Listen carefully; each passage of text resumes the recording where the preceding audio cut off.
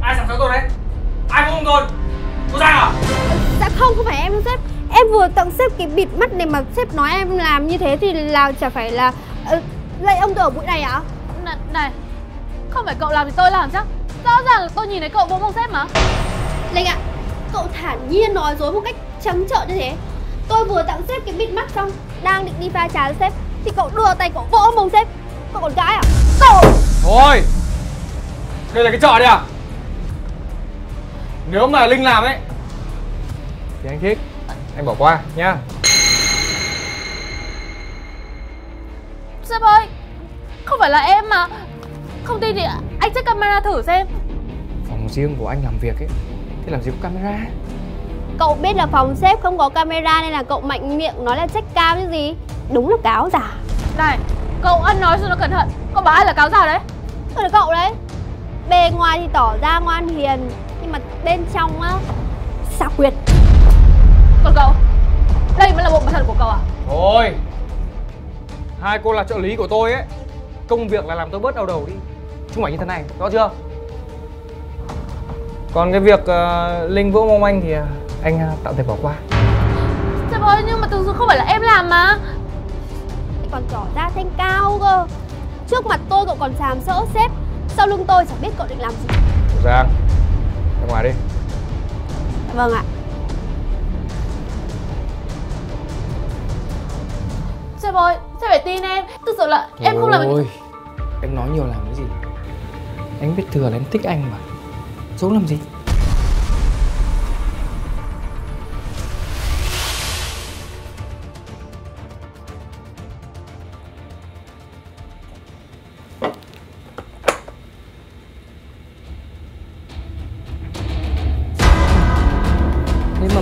thích mình, Không yêu mình, Nó lạnh lùng với mình. Nhưng mà không sao, Anh vẫn thích Linh, Vẫn yêu Linh Nhá.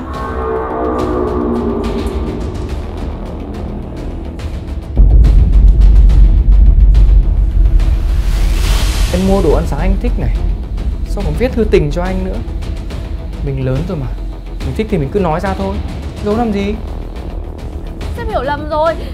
Đồ ăn sáng của anh không phải là em mua Là Giang mua mà. Cái cách phủ nhận của em Nó yếu ớt lắm. Nó giống cái việc mà em ờ, vỗ mông anh Nhưng mà không dám nhận đấy. Gọi là có chống cự Nhưng mà chưa đáng kể. Thôi Em không phải giải thích. Mình lớn rồi Mình thích mình cứ nói ra thôi. Giống như anh như này. Anh à, rất là mến Linh. Đến với anh đi Em chỉ việc hưởng thụ thôi Không phải làm gì cả Nhá.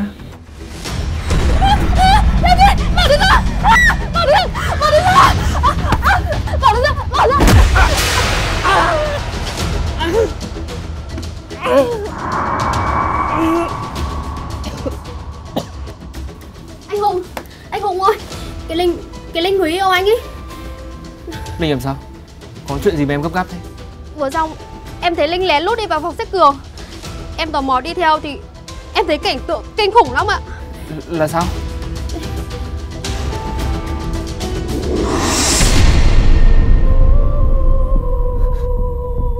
Em gửi cho anh bức ảnh này đi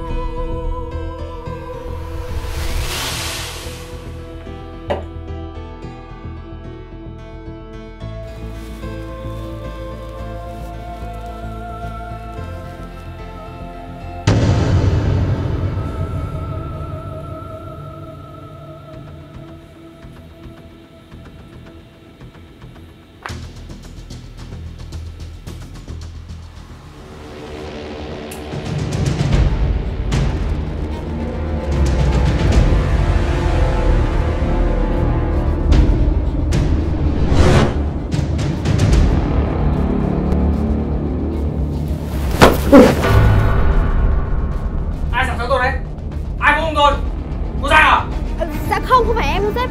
Em vừa tặng sếp cái bịt mắt này mà sếp nói em làm như thế thì là chả phải là uh, Lạy ông tôi ở bụi này ạ Em gửi xong rồi đấy ạ. Anh nhận Anh cảm ơn. Mọi thứ đang đi đúng như những gì em sắp đặt rồi. Anh sớm muộn cũng sẽ thuộc về em thôi anh Hùng ạ Kịch hay sắp tới cao trào rồi.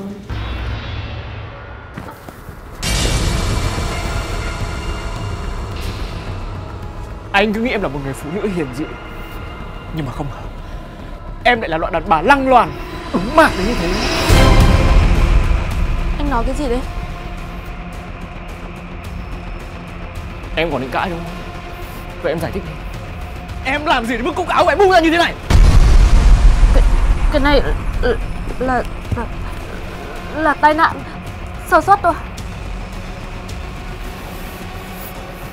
Thế cái gì đấy? Tai nạn như thế này. Âu yếm nhau đến mức bung cả cúc áo ra.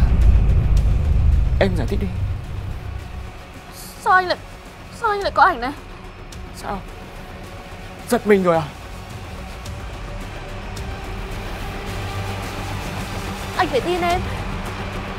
Sau đó em còn lên gối đánh anh ta mà. Đây chỉ là đoạn đầu thôi. Một nửa sự thật không phải là sự thật đâu. Em im đi. Anh hết mực yêu thương em như thế. Vậy mà em làm như vậy à? Em chọn cách ngoại tình với sếp của mình. Để cắm sừng anh à? Anh phải tin em chứ. Chia tay đi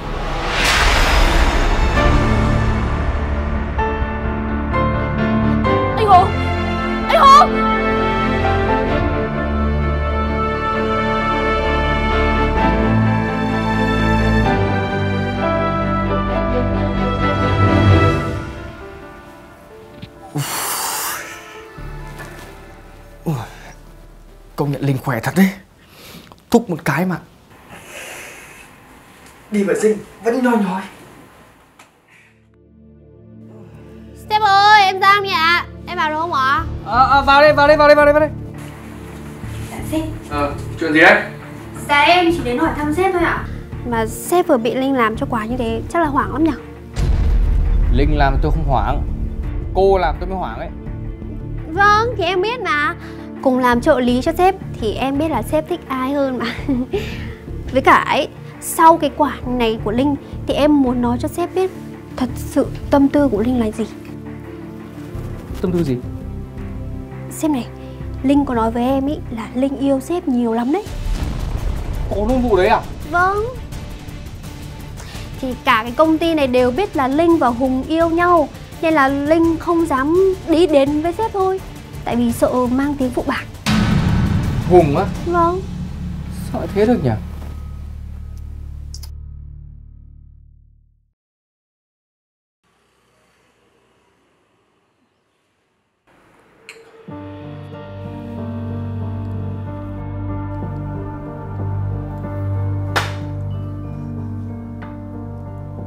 Mất sự nghiệp. Mất luôn cả người yêu. Tại sao Tại sao ông trời đối xử với anh như thế? Em cảm thấy bất bình thay anh luôn ý. Chỉ vì một đứa con gái Mà bị đá đít ra khỏi công ty. Uống đi anh, Mặc kệ cô ta. Bây giờ anh chỉ cần biết Có em luôn ở bên và quan tâm anh thôi.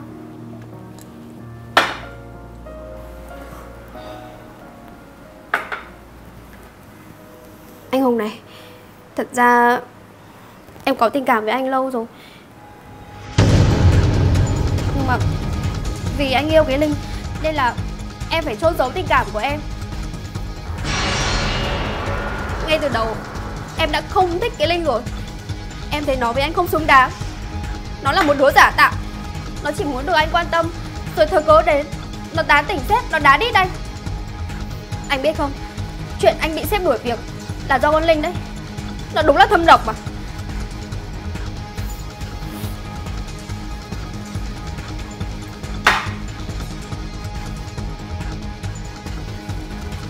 Uống đi. Uống cạn anh đi.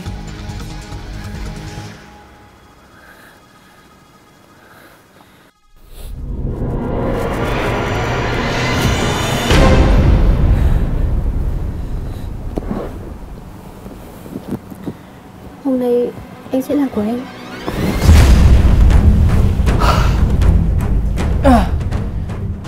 Cô nghĩ là tôi dễ say như thế? Tiểu lượng của tôi cũng khá tốt đấy Chuyện này là sao ạ?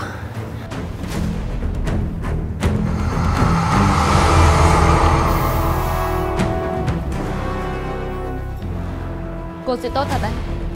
Nhưng thật đáng tiếc Dù âm mưu có hoàn hảo đến đâu Chỉ rồi đến một ngày cũng sẽ bị phát hiện thôi. Sếp ơi, em có chuyện muốn nói ạ.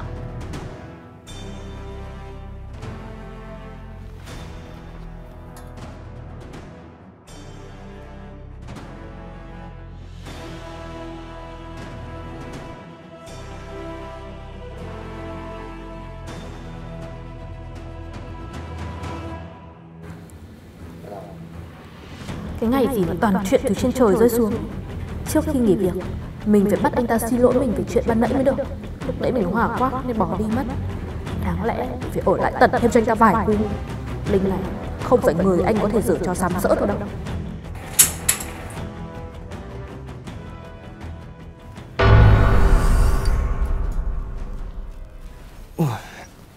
Công nhận Linh khỏe thật đấy.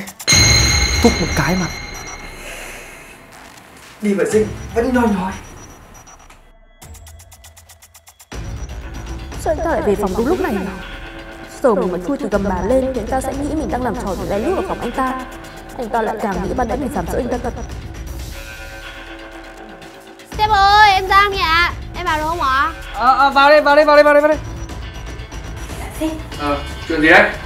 Dạ em chỉ đến hỏi thăm sếp thôi ạ. Mà sếp vừa bị Linh làm cho quá như thế Chắc là hoảng lắm nhỉ Linh làm tôi không hoảng. Cô làm tôi mới hoảng ấy Vâng, thì em biết mà. Cùng làm trợ lý cho sếp Thì em biết là sếp thích ai hơn mà. Với cả ấy Sau cái quả này của Linh Thì em muốn nói cho sếp biết Thật sự tâm tư của Linh là gì. Tâm tư gì? Sếp này Linh có nói với em ý là Linh yêu sếp nhiều lắm đấy. Có luôn vụ đấy à? Vâng Thì cả cái công ty này đều biết là Linh và Hùng yêu nhau Nên là Linh không dám đi đến với sếp thôi Tại vì sợ mang tiếng phụ bạc Hùng á? Vâng lại thế được nhỉ? Cái Linh nó có tâm sự với em ý Mà em biết là sếp cũng có cảm tình với Linh Sếp muốn chiếm đoạt Linh Thì cái việc đơn giản đầu tiên là sếp đuổi việc Hùng đi Thế là sếp đường đường chính chính Công khai yêu Linh luôn được cũng hợp lý đấy nhỉ? Sếp chiếm đoạt cái Linh Còn tôi sẽ chiếm đoạt anh Hùng. Vậy là cả hai chúng ta sẽ đều có thứ mình muốn. Đẹp cả đôi đường. Thế thì triển luôn thôi sếp. Bây giờ sếp có cần em cùng sếp đi xuống phòng nhân sự Làm thủ tục đuổi việc Hùng luôn không ạ? Ô, tôi đi cùng cô luôn. Tôi sẽ ký giấy nhá, đuổi việc người ta ngay lập tức. Đi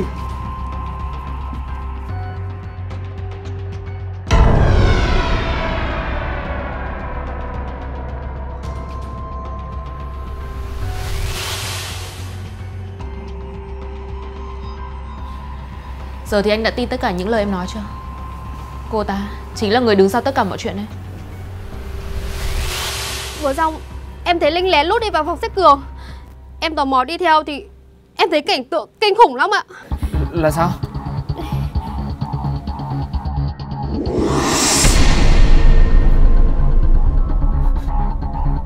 Em gửi cho anh bức ảnh này đi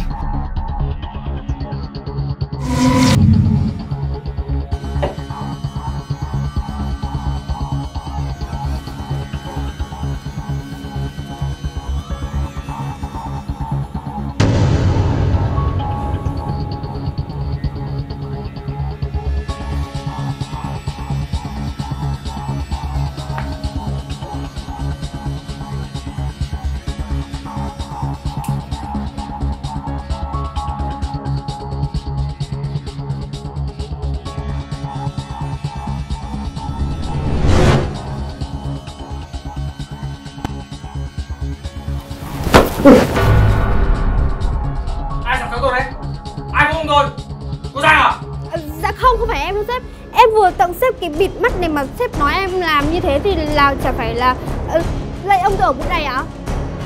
Này, này Không phải cậu làm thì tôi làm chắc. Rõ ràng là tôi nhìn thấy cậu vô phòng xếp mà. Linh ạ, cậu thản nhiên nói dối một cách trắng trợn như thế. Tôi vừa tặng sếp cái bịt mắt xong Đang định đi pha trà cho sếp Thì cậu đưa tay cậu vỗ mông sếp. Cậu con gái à? Cậu! Thôi! Anh xin lỗi. Xin lỗi vì đã không tin tưởng em. Đã nghi ngờ em như thế có gì hơn em chứ? Anh nhìn lại đi Em vừa xinh đẹp vừa tài giỏi. Người anh chọn phải là em chứ. Anh. Cô biết Linh hơn cô ở điểm gì không? Hơn cô ở tình yêu chân thành dành cho tôi đấy. Linh là một người hiền lành, tử tế. Chứ không phải một loại người gian xảo, mưu mô như cô.